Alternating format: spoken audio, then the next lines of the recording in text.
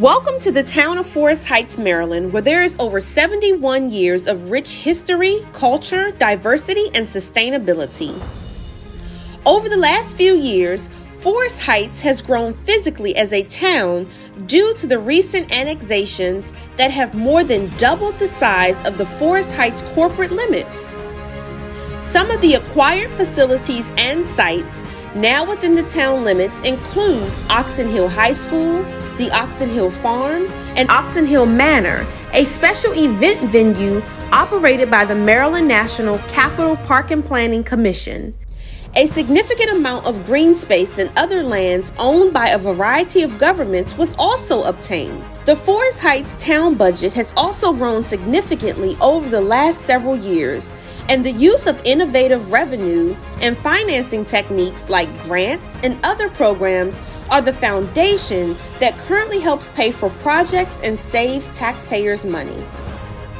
Among the amenities and projects throughout the town paid for with this strategy includes the town newsletter newsbox, installation of new electronic signage, which is mobile and stationary to better provide information to citizens, the Big Belly trash can installation, the dog waste receptacle program, new gathering space,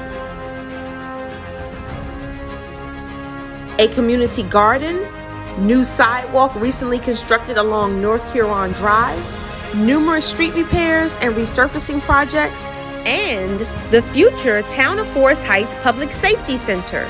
Despite the global pandemic, Forest Heights has been able to support the community with the aid of coronavirus relief funds and help from our Healthy Heights program.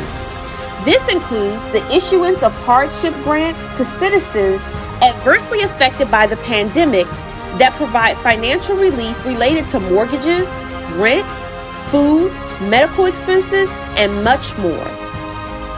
Distributing PPE to the community, hosting food drives, school supply drives, Thanksgiving basket giveaways,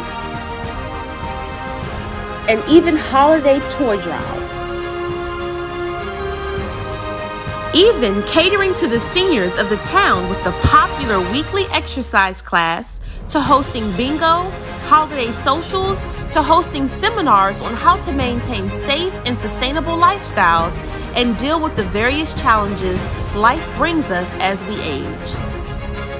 The Forest Heights Police Department has grown tremendously. For the first time in history, they now provide 24 hour patrol and protection for its citizens. From personnel, the department currently consists of 13 sworn law enforcement officers and 4 civilian employees. The police department has acquired 13 vehicles that are technologically equipped to protect, serve, and respond to the community within a timely approach. The Automated Speed Enforcement Unit, Speed Camera, runs the program that is designed to reduce instances of speeding and motor vehicle and pedestrian accidents. The civil emergency trailer and police emergency trailer will be used to hold emergency equipment in the case the town needs to activate the continuity of operations plan, also known as the COOP plan, and or should the town's emergency personnel need to be supported in an alternate location. We introduce to some and present to others the 2021 town of Forest Heights, Maryland.